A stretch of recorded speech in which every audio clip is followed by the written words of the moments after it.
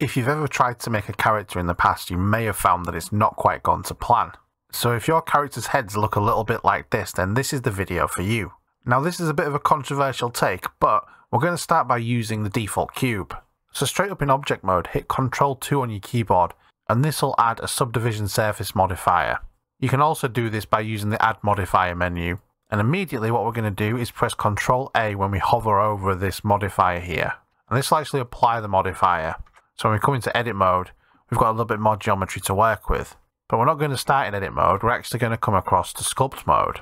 Now don't panic when I say sculpt mode, you'll see what I mean, it's really simple. So start off by grabbing the elastic deform tool just here, and then enable X symmetry just up here. And if we come across into side view with number 3 on the keyboard, we can grab this object and we can kind of start to shape it into the shape of a face. So this would be the front of the face, this is the chin, this is the base of the neck, back of the head. So we can just kind of shove that in there, maybe make that a little bit more flat there. So we've got the chin, and then we can come across to the front, and then I'm just going to squeeze in the sides of the head, just like that. It's dead simple. Now at this stage, what you'd probably be wanting to do is deciding what the overall shape of the head is going to look like. So if you wanted like a really thin chin, for example, you could pull that right in wanted a big fat jaw, then you could do that as well. So this shape just gives you a rough silhouette of the character. So that's all we need to do in sculpt mode for the time being. Let's come back across to edit mode now. So when we look at this, we have a number of faces that we can work with. So these faces here, this is going to be around the forehead. The eyes are going to be around here, and the mouth is going to be within this section. Well, the mouth and nose are going to be within this section. So what we can do, first of all, is we can take this whole area here. If you press I on the keyboard, this will inset these faces and it'll give us this loop around the side here. Now the next thing we want to do is take this line that runs around the head and we're going to press Control B to bevel this and this is just going to add some more geometry for us. What we can do is we can add four segments to this. Now if we take these two faces and these two faces, again with I to inset, we can make some eyes. And what we need to do is just need to add another loop here and this will just give us three, six, seven, eight points around the eyes. It's a nice number to work with, but don't worry too much about the actual points. So what we can do now is we can inset these again. Just gives us a little bit more geometry to work with, and then we can extrude these inwards. Now, I like to do it directly on the y-axis just to keep things nice and straight. And then we can scale these down by clicking on individual origins, and this will scale this down. We can put a loop cut just in here, just add a little bit more geometry. And that's all we need to do on the eyes for the minute. Next, what we need to do is decide how big the mouth's going to be. So you could take the mouth in this entire width of this area, or you could take it to a smaller area like this. So what we'll do first is we'll just put another loop cut here. Then we'll take this section and then we'll inset this. Then we'll take these faces here and we'll inset these as well. And then we'll extrude along the y-axis again, scale that down, and then we'll add a couple more loops here. The next thing we need to do is we need to sort out the ears. Now ears typically run in line with the eyes. So around here is a good point. Now you need to decide whether you want small ears or large ears. So you could justifiably go all the way down to here. You could just as easily use an ear about this sort of size. So let's make some massive ears in this case. Now what I want to show you as well is that it can be a bit of a pain working on both sides of the mesh so I'm not going to. I'm going to do this really lazy. So we're just going to work with these three faces here. And so I'm going to inset these and I'm going to inset them again. And then I'm going to extrude out just about here and extrude here again. And then in top view, I'm just going to kind of grab this, rotate it. It doesn't matter too much about the faces not being perfect, not looking like an ear or anything like that. What we can also do is, if you want a, like an earlobe that kind of hangs down, you can extrude this out to make kind of like a, a hanging dangly earlobe. I don't really want that, so I'm just going to delete that. And then what we're going to do is we're going to take all these faces except this one here, and I'm going to inset them and be quite generous with the inset as well. And then we can extrude these inwards here. We can grab, grab these, inset them as well. There we go. So there we have a kind of a, a very rough ear.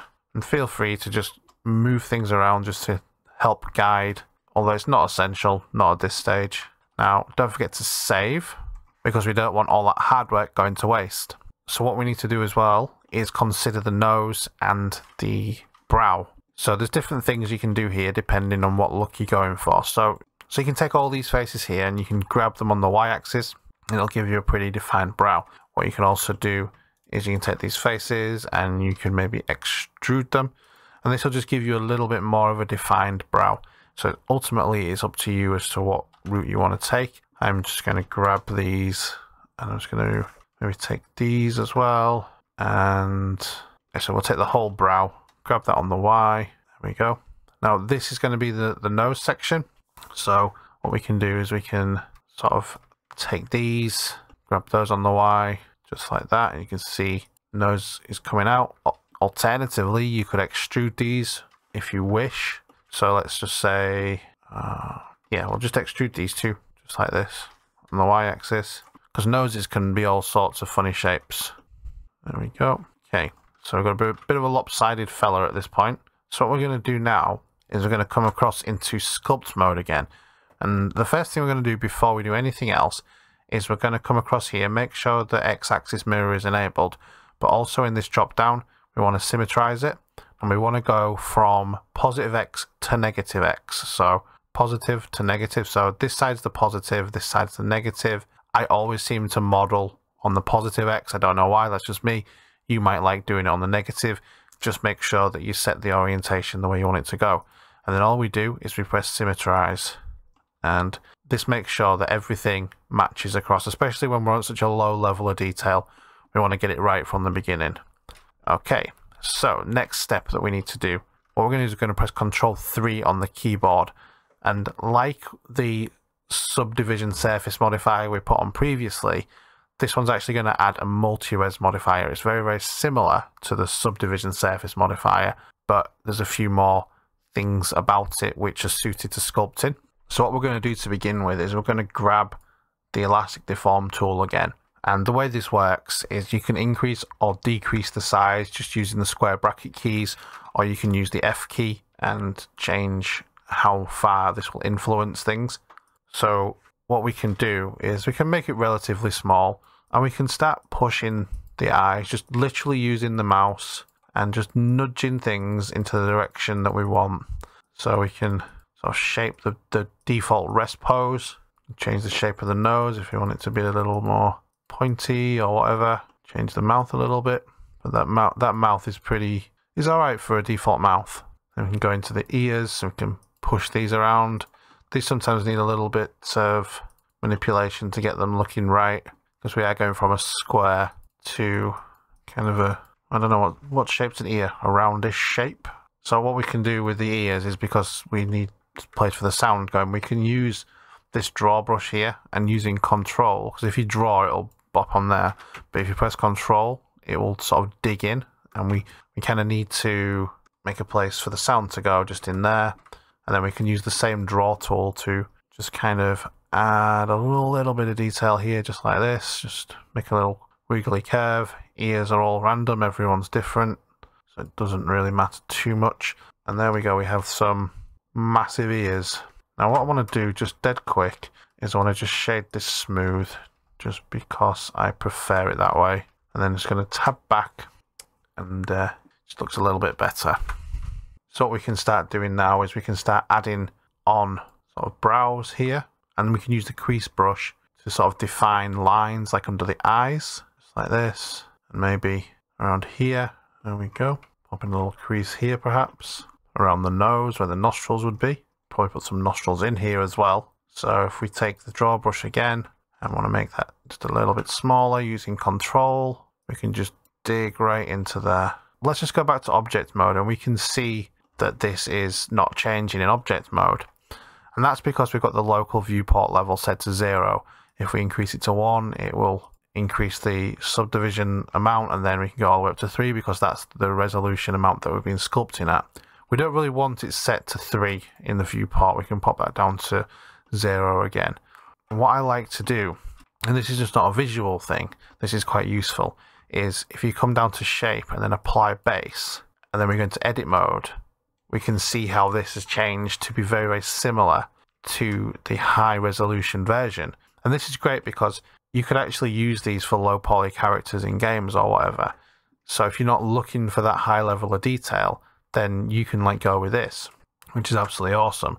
Or you can maybe like this, for example, and so on and so forth. So what we can do now is we can add with Shift A a UV sphere, and I'm going to shade that smooth. So that's, by the way, that's W, then shade smooth. And then I'm just going to grab this on the X axis. I'm going to scale that down just like that. And then press Control A and apply the scale. Come into edit mode, rotate X90. And this is just to change the way that the faces are pointing. I'm going to come back into object mode. And then if you come to face projects and then center in this snapping menu, and if you grab your eyeball and then hover your mouse over this socket and then hold control, it will position it on the surface of the socket. It just makes it really simple to get it in a good position. Now we can go to the add modifier, we can grab a mirror modifier and we can pop that onto the surface of the, the face and that will mirror it across this object. Now all we need to do is just adjust it until it kind of fits in place, which is really cool. And then just apply the scale again. Any time that you scale something in object mode, you really want to be looking at applying the scale if that is the default scale that you want it to be. You can also change the scale in edit mode and then you don't need to adjust the scale in object mode, but so long as you know the two different ways that you can do that. Now, there's one thing that I want to do on the head again. So if we come into edit mode and we can take this edge here on the forehead, and then if we come right around the back and hold control and we're going to select all of this here, we're going to keep going and selecting right the way through to the chin. And we're going to press U and we're going to say mark seam. We're also going to come in and we're going to select the loop around the ear, which is just there just there. And we're going to again mark seam. We're going to come into the eyes as well. We're going to U mark seam. And then same for the mouth. U mark seam. So if you select everything with the A key and then we press U again and we're going to go on unwrap if we come across the UV editing, we'll see the face just here. So we've got like the main skin and then we've got like the eyes and things here. And, and one thing to know, I've just spotted this. Now, I'll show you a way to find this. If we come to select, select overlap, we can see there that these things, that these vertices are overlapping on the unwrap, which isn't the best thing that we could be wanting. So we can see there that's for the ear and we can see there that this is intersecting and we don't really like intersecting geometry. It does happen, and it's not the end of the world. It's mainly because of the multi-res modifier that we've done and not having a lot of geometry in there. That's why it's kind of overlapping. But in terms of UV, we don't really want things overlapping anyway. What we can do is we can use this relax tool and see if this can fix it for us. And there we go. Let's just pull it back into place. So dead simple there. If we go to select, select overlap, then there's nothing there. So that's all we need to do on that. Remember to keep saving. So at this stage, you've got a pretty decent looking basic head shape. And if you're happy with that, then absolutely fantastic. You can go ahead and add more details. But what I would definitely say is don't add lots of little details until you are 100% happy with everything. We can see here these creases that I've put in. When we come across into object mode, they're barely visible. Now, you can see a little bit of these creases just here, but this is because we've got the local viewport set to one subdivision. If we turn that off, they completely disappear. And the reason that's important is because you may need to make changes to the base mesh. Now let me let me demonstrate what can go wrong. So in edit mode, you may feel like you need some extra geometry at place. Let's say for example, we want a massive thing jutting out. We want lots of geometry there, blah blah blah. Okay. When we come back to sculpt mode, it's all a bit broken. And you can fix this with a smooth tool, but sometimes that can cause issues depending on where you put in the extra geometry. For example, you may need it in the mouth. So we can come into object mode and we can just click delete higher, and then that will remove everything above that, that level. Then we can come into edit mode and we can add any extra geometry that we need. Now this shouldn't be an issue for you deleting those higher levels because really you shouldn't be adding those extra levels of detail until you're completely happy. So if we come back into sculpt mode, what we can do is we can add more subdivision levels. Generally speaking, I like to work on level 3.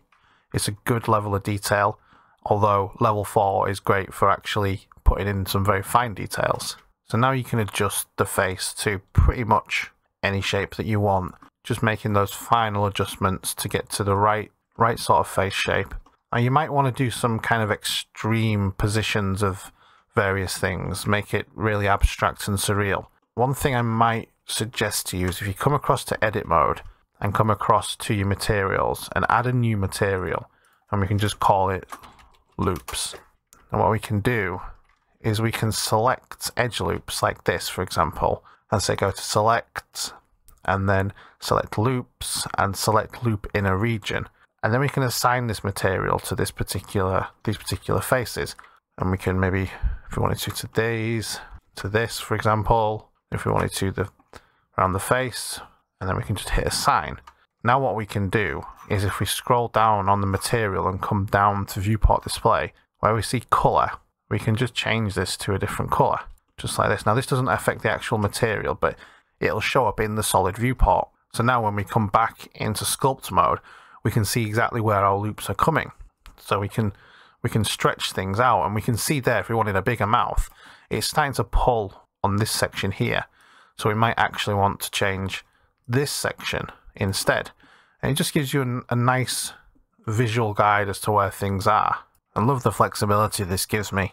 It makes making characters really easy and simple. So when you've got a shape that you're happy with, you can increase the subdivision levels to level 4, and you can go ahead and add the finer details.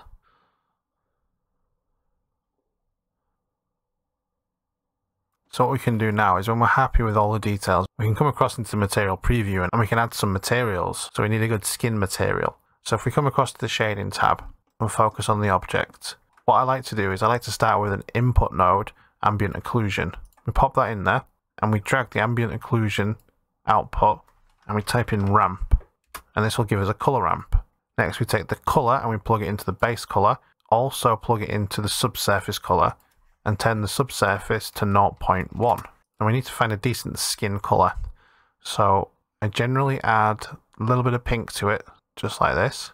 If when you decrease the value of the color, it looks good, then you're probably onto a winner. What you can do is you can hover your mouse over the color and press Ctrl C. Click on this little node here and press Ctrl V. And then you can just adjust the slider to make it a little bit darker. And then if you crush it down a little bit, get a bit more contrast, and bring those to about there. That's how I generally set up the material. I'll push the roughness all the way up and the specular all the way down. So if we look at this in rendered preview, it doesn't look too bad. I feel this is a really nice skin texture for stylized characters. And while we're in this rendered preview, we may as well work on the eyes. So we'll start with the white part of the eyes. This is super simple. I just crank the roughness all the way down and the specular all the way up. Now if we come into edit mode, and select this middle vertex and then press Control Tab a few times and it'll select these. Next we can create a new material and we can call this iris. That's the coloured part of the eye and we can hit assign. Similar process, specular up, roughness down and we can change the colour to uh, maybe pink for example and then control minus again and then we'll add a new material and we'll call this pupil. Turn that all the way to black, specular up, roughness down, and then we simply assign it to there. And then we have some pretty decent basic eyeballs. Okay. So that covers the basics of how to make really easy and simple characters. In future videos, we can look at things like adding details, adding hair, animating the faces, and then we can look at creating a body as well. So if that's something that interests you, and if you've liked this video, then maybe hit that subscribe button and you'll get notified when when the next installment of this video comes out.